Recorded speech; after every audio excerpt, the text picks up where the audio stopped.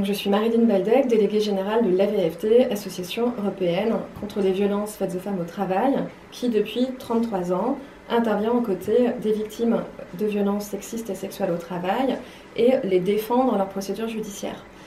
Euh, donc on est une équipe de juristes qui au quotidien euh, œuvront pour l'accès à la justice euh, de ces femmes, pour favoriser en fait au maximum l'accès à la réparation, euh, et euh, on intervient pour essayer de faire tomber en fait tous les barrages qui se dressent sur euh, le chemin de ces victimes et qui sont extrêmement nombreux. donc on est saisi en très très grand nombre. Enfin, les, femmes nous saisissent de plus en plus souvent et de plus en plus nombreuses depuis quelques années,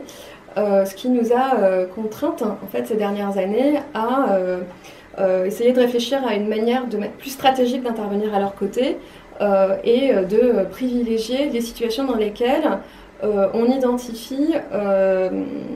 un possible succès judiciaire, pas parce que le dossier va être facile, au contraire parce qu'il va être plus technique, plus compliqué, qu'il va soulever une question juridique nouvelle,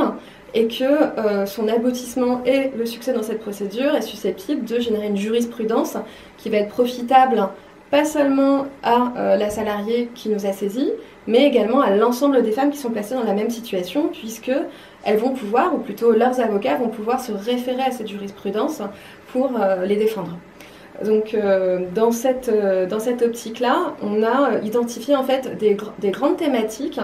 où le, droit, le droit mérite d'être perfectionné, où la jurisprudence doit aller plus loin. Donc on a identifié par exemple que la définition du harcèlement sexuel dans son application, doit pouvoir trouver à s'appliquer dans des situations où la victime n'est pas personnellement visée par des agissements répétés euh, à connotation sexuelle,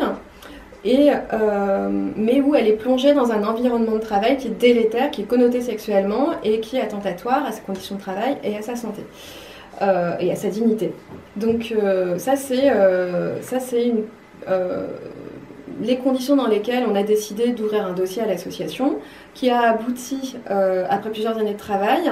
à euh, un arrêt de la Cour d'appel d'Orléans en février 2017 qui condamne un employeur pour ce que la Cour a désigné comme étant du harcèlement sexuel environnemental,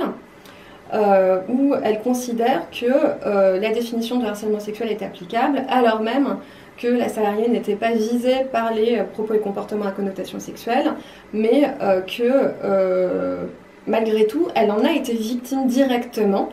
euh, puisqu'elle y a été exposée. Euh, a contrario, euh, on a décidé, nous, de se battre sur le terrain de l'acte unique de harcèlement sexuel. Et donc on s'est battu jusque devant la Cour de cassation, notamment en accompagnant la victime, mais aussi en conceptualisant juridiquement la notion d'acte unique de harcèlement sexuel, mais aussi en finançant sa procédure. Euh, jusque devant la Cour de cassation, euh, qui nous a donné raison et euh, a cassé un arrêt qui avait refusé de considérer comme étant suffisant un acte unique de harcèlement sexuel, sans contrepartie sexuelle exigée par le harceleur auprès de la victime et sans qu'il n'ait utilisé de pression grave pour arriver à ses fins.